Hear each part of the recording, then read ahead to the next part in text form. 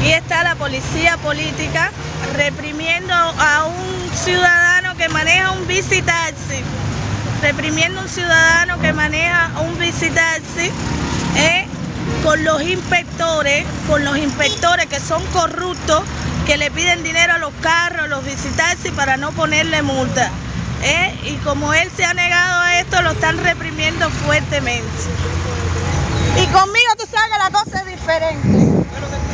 No, yo no quiero, no, como tú quieras. Si me vas a...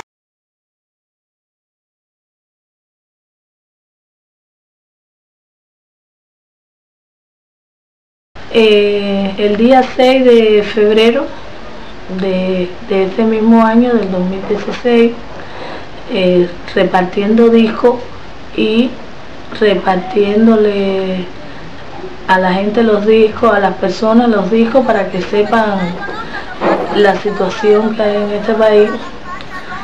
Eh, a raíz de estas cosas, de, de esto, horas después nos detuvieron, nos reprimieron, nos dieron golpes. Hubo una manifestación frente al sector de la policía de Ávila. Después de eso siguieron las amenazas, principalmente por el señor Osmani de la seguridad del Estado, que no ha dejado de molestarnos, amenazándome a mí y a mi familia, que tengo dos niños pequeños, de que si seguimos en esto nos puede pasar lo peor. Detención arbitraria de la policía política. No, eso es. Apenas, Fíjate qué número está caminando. Dale para acá, mira el camión. Mira el camión.